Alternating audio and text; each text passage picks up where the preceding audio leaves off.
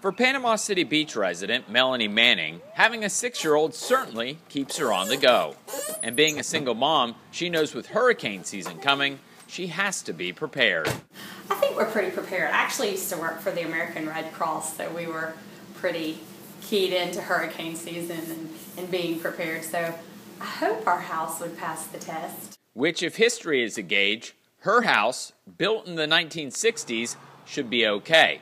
Although it isn't, very far from the Gulf. Definitely withstood the hurricanes, the cinder blocks and the terrazzo floor. You feel safe here. But when the next storm threatens this family, they have Alabama on their mind to stay with family. I said we would probably just get in the car and, and go. We wouldn't be the people that would ride it out and have a hurricane party. Obviously, in any hurricane survival kit, you're going to need things like extra batteries and a flashlight, maybe a little bug spray. Also, a weather radio is very important, but don't forget about my friend Katie Mack here. She's going to need something for the kit. What do you got? Dumbo and my book. Excellent. So let's go ahead.